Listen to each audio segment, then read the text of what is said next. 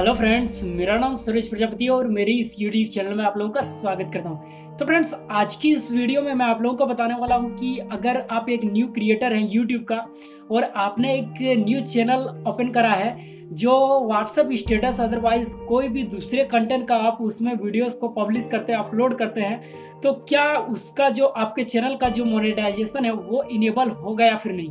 Hello दोस्तों, आज के इस वीडियो में मैं इसी के बारे में चर्चा करेंगे। तो बने रहिए मेरी इस वीडियो के अंत तक और अगर आपने मेरे इस चैनल को अभी तक सब्सक्राइब नहीं किया तो सब्सक्राइब करके बेल आइकन को प्रेस कर लीजिएगा, क्योंकि मैं ऐसे ही टैक्स रिलेटेड वीडियोस को बनाता रहता हूँ आपके लिए। तो चलिए वीडियो को स्टार्ट करते हैं। तो सबसे पहले फ्रेंड्स बात कर लेते हैं कि जो मान लीजिए कोई न्यू क्रिएटर्स है और जिन्होंने अपना एक न्यू चैनल ओपन करा है और व्हाट्सएप स्टेटस से रिलेटेड या फिर अदरवाइज़ कोई भी दूसरे का कंटेंट यूज़ करते हैं, उसमें जो भी आपका वो चैनल है तो उसका मोनेटाइजेशन जो है, उसका इनेबल नहीं होगा, क्योंकि आप अपना खुद का कंटेंट यूज़ नहीं करें दूसरे का कंटेंट यूज़ करें जिसके कारण से आपका जो चैनल है, वो अप्रूव में नहीं होगा मोनेटाइजेशन के लिए, अगर आप खुद का कंटेंट यूज़ करते हैं यूट्यूब चैनल फिर क्रिएटिविटी जमाने के लिए तो ही आपका जो मोनेटाइजेशन है, वो अप्रूव किया जाएगा।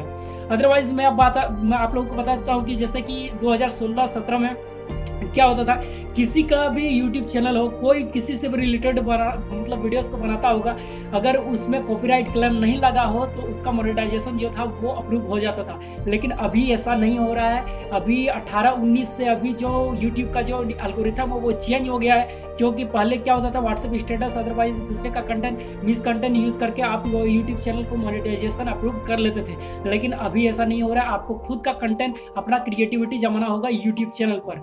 तो फ्रेंड्स आपको क्या करना होगा? आपको मान लीजिए आप एक न्यू क्रिएटर है, आपने अगर व्हाट्सएप स्टेटस का चैनल ओपन करा है तो आपको क्या करना है? व्हाट्सएप स्टेटस के चैनल को आपको नई क्रिएटिविटी पर जमाना होगा। आपको अपना खुद का कंटेंट यूज़ करके उसमें अपलोड वीडियोज़ को आप एक कैटेगरी चॉइस कर लीजिए कि यार मुझे इस कैटेगरी पर वीडियोज़ को बनाना है और क्रिएटिविटी करना है। तो आपको क्या करना है? मान लीजिए किसी से भी रिलेटेड आप कैटेगरी से चॉइस कर सकते हैं अपने यूट्यूब चैनल का।